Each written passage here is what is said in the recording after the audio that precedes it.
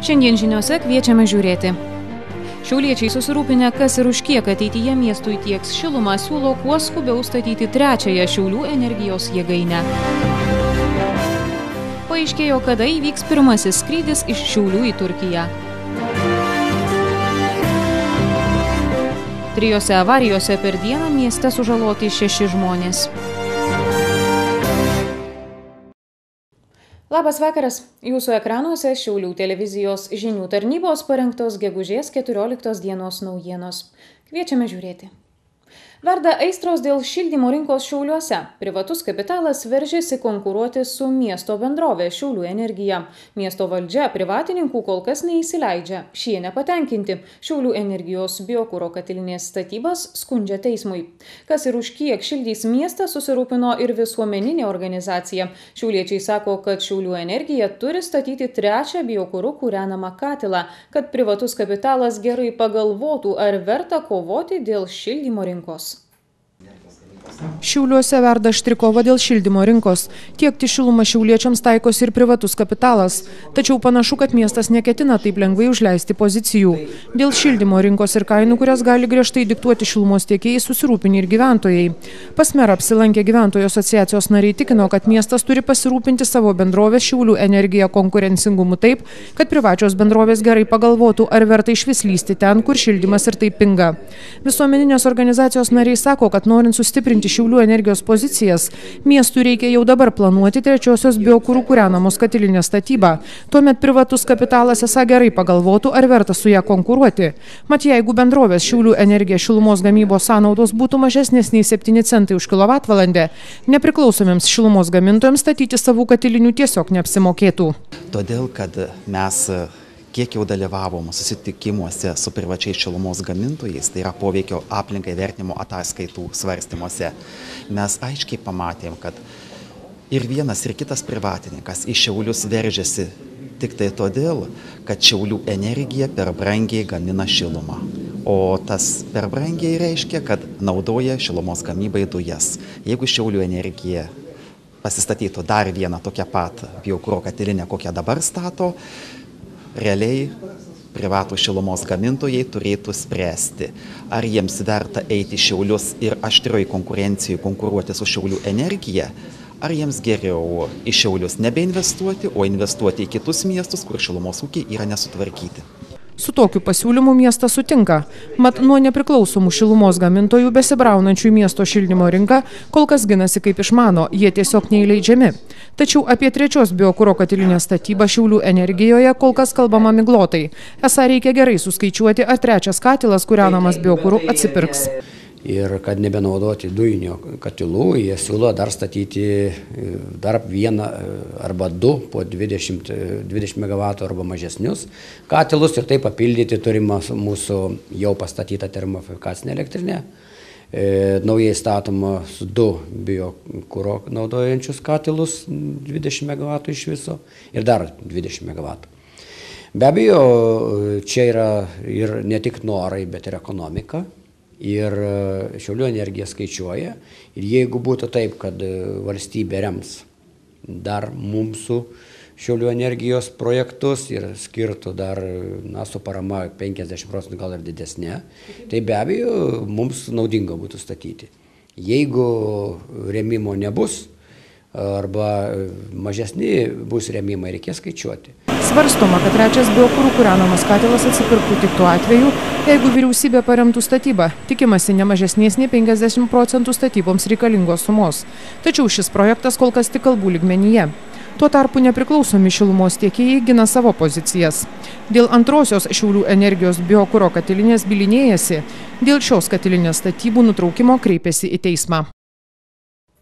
Šiauliečiai ir visos Šiaurės Lietuvos regiono gyventojai jau nuo rudens poilsiauti Turkijoje skristi galės iš Šiaulių oro uosto. Pirmasis reisas vyks rugsėjo ketvirtą dieną, o įsigyti keliones bus galima jau šio mėnesio pabaigoje.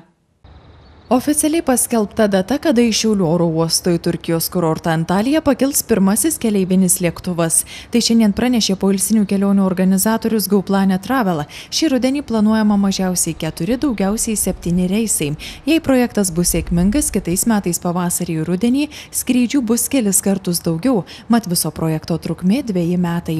Pats pirmasis skrydis bus rugsėjo ketvirtą dieną, tai yra ketvirtadienį bus vykdomi skrydžiai kiekvieną ketvirtadienį, patogių laikų, tai nebus nei naktį, nei pareičiais. Prieš prasidedant skrydžiams oro uostas dar turi pasirašyti sutartį su aviakompanija. Anot oro uosto direktoriaus kol kas vyksta dėrybos, tačiau netikėtumų neturėtų būti. Mat avialinijos jau seniai bendradarbiauja su kelionių operatoriumi. Bus pasirašyta sutartis su aviakompanija Grand Cruan Runs dėl skraidomi iš Šiaulių oro uosto sukamaisiais skrydžiais. Operatorius turi, kiek suprantu, pats kontraktą su aviokompanija. Organizatoriai tikisi, kad kelionės iš Šiaulių bus patrauklios Šiaurės Lietuvos gyventojams bei Latviams. Mat jau dabar skaičiuojama, kad reisais iš Vilniaus į Turkiją skrenda po kelias dešimtis kaimynų Latvių. Jie mūsų šalies oro uostus renkasi dėl mažesnių kainų nei skrendant iš Rygos. Latviai atvažinėja į Šiaurės Lietuvą praleisti savaitgalį, todėl tikime, kad jie atvykę čia ne tik tai įskris, bet ir pabus, aplankys miestą ir aišku paliks pinigų. Tas yra svarbu.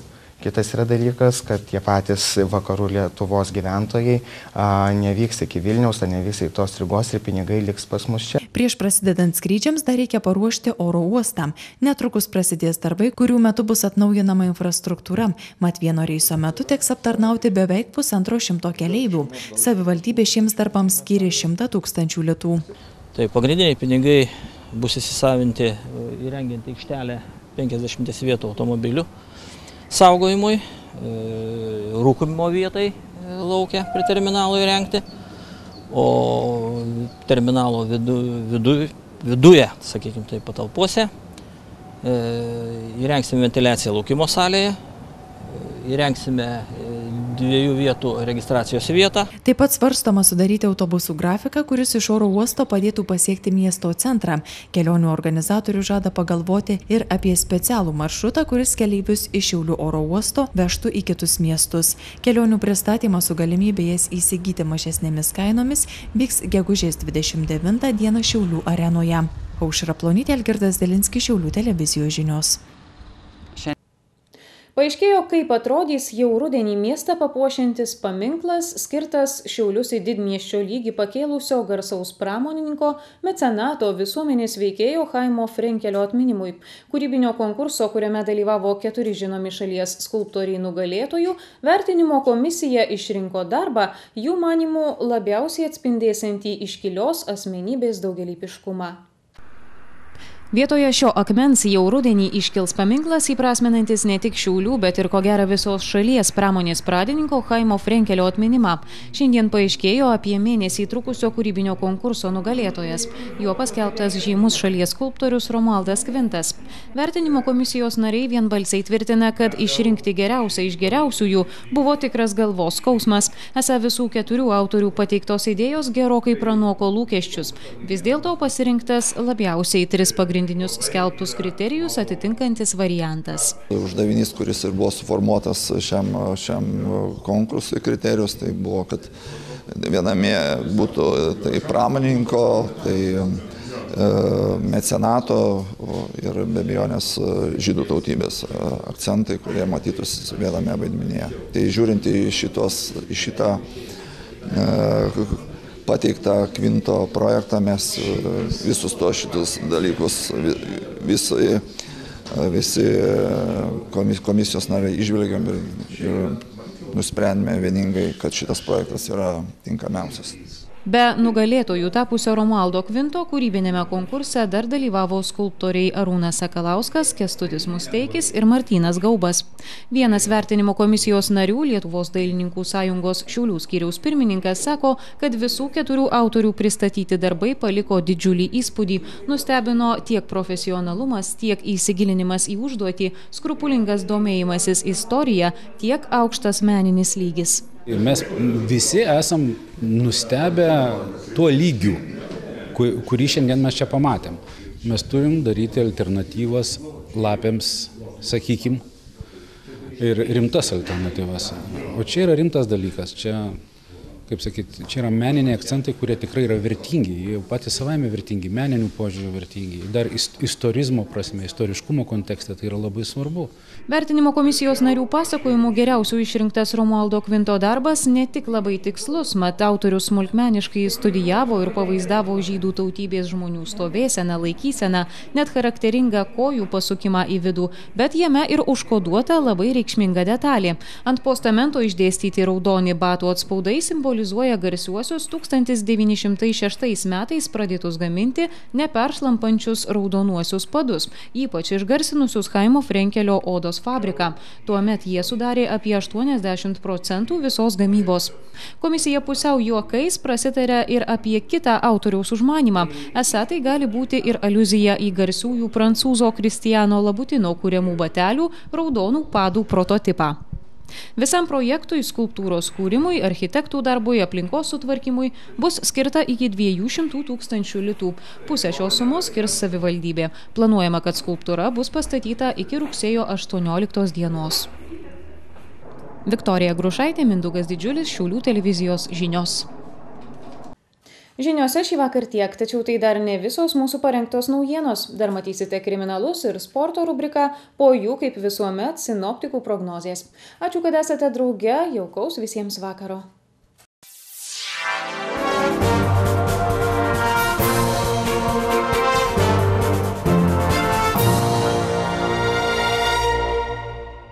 Ryta Šiauliuose susidūrus dviems automobiliams į avarijos vietą išlėkė net keturi greitosios medicinos pagalbos ekipažai. Sužeistos trys moteris ir beveik pusantrų metukų mažylė. Du lengvieji automobiliai Renault Laguna ir Ford Focus susidūrė Serbentų Dubijos gatvių sankryžoje. Ford Focusu 24 metų šiaulietė važiavo viena. Renault Laguna važiavo Kelmiškių šeima. 35 metų vyras vežė žmoną, pusantrų metukų dukrelę ir 61 uošvienę. Susidūrus mašinoms nukentėjo visos moterys. 24 metų Fordo vairuotojai lūžo ranka ir koja, sukrėstos smegenys. 35 metų Kelmiškiai sutrenkta galva. 61 metų jos mamai traumuota koja. Pusantrų metukų vaikas į ligoninę išvežtas diagnozijai nustatyti. Mažylį diagnozuotas viso kūno sumušimas. Nors mažylė buvo vežama specialioje kėdutėje nuo smūgio, ji pasislinko ir vaikas trenkėsi į mašinos dureles. Į avarijos vietą atsiųsti keturi greitosios pagalbos automobiliai į ligoninę išvežtos jaunesnės moterys, o mažylė lydėjo sužeista močiutė. Vėliau ir ji išvežta į ligoninę. Vienintelis sveikas per susidūrimą likęs vyriškis sako, kad kalta Fordo vairuotoja, nepaisusi šviesoforo signalo. Aš iš pagrindinį kelią atvažiavau per žalę, o jinai per raudoną atvažiavo. Į man smūgį. Pasak policijos pareigūnų po medikų apžiūros apklausta jauna vairuotoja irgi sakė tą patį, esą ji nepažeidusi kelių eismo taisyklių, įvykį aiškinasi policija. Netrukus greitosios prireikė dar dviem gatvėje sužalotiems žmonėms. Kitose miesto vietose partrenkti pėstieji - 56 metų vyras ir 70 metų moteris. Visi vairuotojai važiavo blaivus. Mažykių rajono policijos komisariato pareigūnai ieško dingusio be žinios 33 metų Andrius Došo. Jis gegužės 11 dieną apie 12 val. išėjo iš sodų bendrijos raselė Mažykiuose ir iki šiol negryžo. Andrius Došas yra apie 1,78 cm ūgio normalaus kūno sudėjimo trumpais rudos spalvos plaukais. Vilkėjo juodo odinės striukės, sportinės juodos spalvos kelnes su baltomis juostelėmis šonuose. Avėjo tamsiai mėlynus sportinius batelius su raudonais papuošimais. Asmenys mačiusius Andrių Došą, žinančius jo buvimo vietą ar galinčius suteikti naudingos informacijos, policija prašo pranešti į artimiausią policijos komisariatą arba mažykių policijos pareigūnams telefonais 8443 98150 arba bendruoju pagalbos telefonu 112.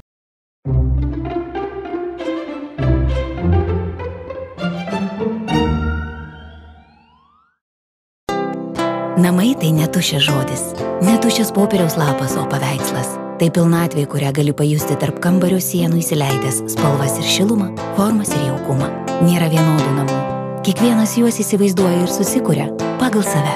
Prekybos centras NITS. Čia atviros durys svajonių namams.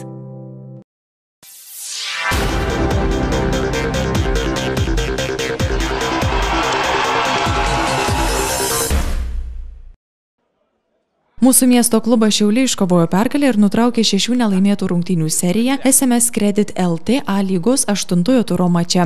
Šiauliečiai rezultatu 6-0 sutriuškino lygos outsiderę Alitaus Dainavą.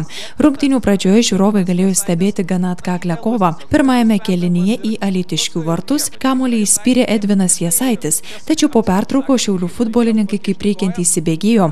Antrajame kelinyje įvarčių savo komandai padovanojo Rokas Gedminas, Davidas Medžiaušis, Malietis Jamadau Keita bei Kroatai Niko Tokičius ir Stiepanas Babičius. Paskutinėje A lygos turnyro lentelės vietoje žengiantys alitiškiai per 13 sužaistų susitikimų sugebėjo pasižymėti tik kartą. Patys praleido 73 įvarčius ir kol kas nėra uždirbę nie taško. Po pergalės Dzukijos sostinėje šiauliečiai yra tik laipteliu aukščiau devintoje vietoje. Artimiausias rungtynės šiauliai žais namuose kitą savaitę, antradienį gegužės 20 dieną su Trakų komanda.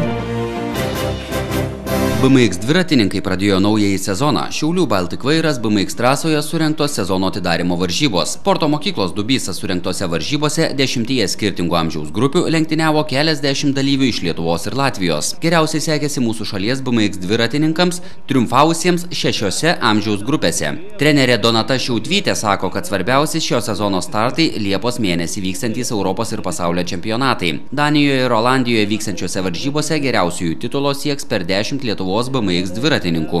Didžiausios viltis jaunimo grupėje dedamos į Europos lygos pirmojo etapo nugalėtoją Gabrielių Pabijanską, o moterų grupėje į geriausią šalies BMX dviratininkę Vilmą Rimšaitę.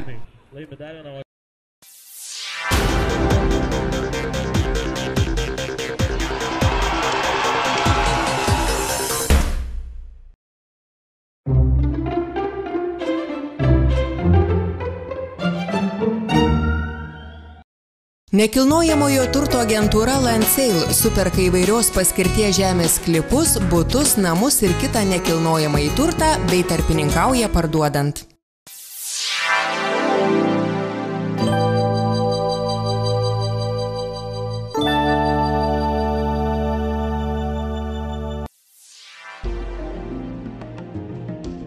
Rytoj žadami vis dar vėsoki, tačiau jau malonesni orai. Artimiausią naktį temperatūra svyruos tarp 4-7 laipsnių šilumos. Ketvirtadienį dieną kils iki 14. Bus mažai debesuota, tad saulėtos valandos pasitaikys dažniau nei apniukusios.